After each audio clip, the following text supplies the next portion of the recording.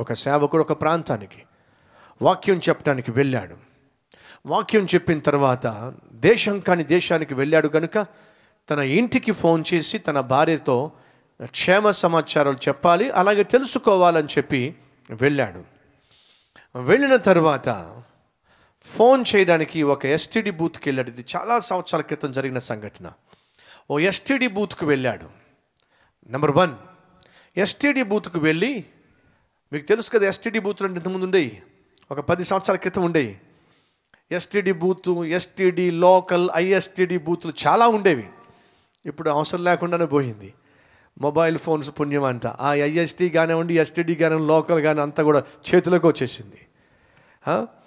So ఆ STD బూత్కి వెళ్ళి phone చేసి తన భార్యతో మాట్లాడదామని అనుకుంటే ఆ ఆ నుందే ఆ క్యాబిన్లోకి వెళ్తే అంత చీకటిగా ఉంది ఫోన్ నెంబర్లు కూడా కనిపించట్లా.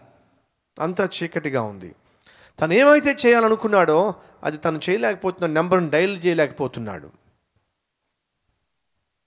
ఆ క్యాబిన్లోంచి బయటకు వచ్చి అన్నాడు ఏమిటండి లోపలంతా చీకటిగా ఉంది? నాకేమీ కనిపించట్లా అన్నాడు. అప్పుడు ఆ ఎస్టీడీ బూత్ నడిపించే వ్యక్తి అన్నాడు మీరు క్యాబిన్లోకి వెళ్ళండి తలుపు మూసుకోండి ఆ తలుపుకే ఆ స్విచ్ అటాచ్ చేయబడి ఉంది. మీరు తలుపు వేసిన వెంటనే ఆటోమేటిక్గా లోపల వెలుతురు వస్తుంది. చూడండి కావాలంటే అన్నాడు. గబ్బగబ్బా వెళ్ళి క్యాబిన్లోకి వెళ్ళి డోర్ వేసుకున్నాడు.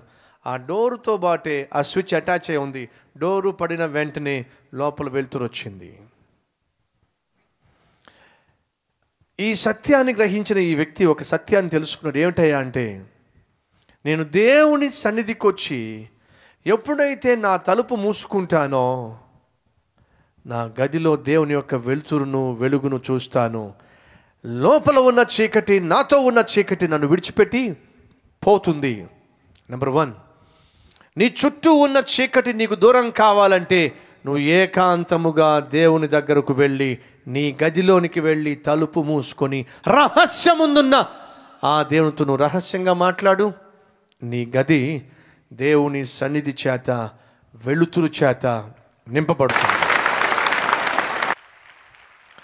రెండు మరొక ఎస్టీడీ బూత్కి వెళ్ళి ఒక వ్యక్తి ఫోన్లో మాట్లాడదామని చెప్పి ప్రయత్నం చేస్తూ ఉంటే ఓ గోల. బయట ఉన్న వాళ్ళ గోలంతా కూడా ఫోన్లో వినిపిస్తూ ఉంది. వచ్చి అడిగాడు ఏమండి ఇంత గోలగా ఉంది నాకు అటుపక్క ఏం వినపట్లేదు ఏం చేయమంటారంటే? అతను చెప్పాడు చేసేది ఏం లేదండి క్యాబిన్లోకి వెళ్ళి తలుపు వేసుకోండి. బయట గోల లోపలికి వినిపించదు మీ గోల బయటికి వినిపించదు. రెండవ సత్యం దేవుని స్వరము మనం వినాలి అంటే ఈ లోకం చేసే గోలలో మనం మునిగి తేలడానికి వీలు లేదు. ఈ లోకస్తులు మాట్లాడే మాటలు ఈ లోకంలో ఉన్న విషయాలు మన గుండెల నిండా నింపేసుకుని వాటితోనే మనం ఒకవేళ జీవిస్తున్నట్లయితే దేవుని స్వరాన్ని మనం వినడము సాధ్యం కాదు. దేవుని స్వరం వినాలని ఆశపడుతున్నావా? అయితే లోకం యొక్క స్వరాన్ని ఆ ఆ తలుపును మూసేసేయి. లోకస్తులు మాట్లాడే మాటలను నీ దగ్గరికి రానే మాకు. దుష్టులు మాట్లాడే మాటలు నీ దగ్గరికి రానే మాకు. ఆ తలుపు మూసేసేయి. లోకస్తుల మాటల తలుపులను మూసేసేయి. ఒంటరిగా నువ్వు వెళ్ళి ప్రభు సంద్ర మోకరించు. ఒక్క దేవుని స్వరము మాత్రమే వినడానికి నీ చెవులను తెరచు. డెఫినెట్గా దేవుడు నీతో మాట్లాడతాడు. వాక్యం ద్వారా మాట్లాడతాడు. తన చిత్తం ఏంటో నీకు తెలియచేస్తాడు. తన చిత్తాన్ని తెలియచేయడానికి దేవుడు సిద్ధంగా ఉన్నాడు. ఖచ్చితంగా దేవుడు మీతో కూడా మాట్లాడతాడు. ఎప్పుడు? మీరు సంపూర్ణంగా ఈ లోకం యొక్క సంబంధాన్ని కట్ చేసుకొని నువ్వు ఒంటరిగా దేవుని సన్నిధికి వెళ్ళి రహస్యముగా నీ తలుపు మూసుకొని ఆయనతో మాట్లాడు. ఆయన నీ మాటలు వింటాడు. ఆయన మాటలు నువ్వు వింటావు. అడుగుతున్న రహస్యముగా ఒంటరిగా నువ్వు దేవునితో మాట్లాడి ఎంతకాలం అయింది నువ్వు ఈరోజు ప్రార్థన చేయి ప్రయత్నం చేయి. ప్రభువా నేను కూడా ఒంటరిగా నీ సందికొచ్చి వచ్చి నీ చిత్తము చేయుటకు నీకు ఇష్టునిగా జీవించుటకు ఈ భూమి మీద నమ్మకస్తునిగా బ్రతుకుటకు కావలసిన శక్తిని పొందుకోవడానికి నీ సన్నిధిలో నేను ప్రార్థన చేస్తా. నేను ఉపవాసం ఉంటా. లోకం యొక్క మాటలు నేను వినను.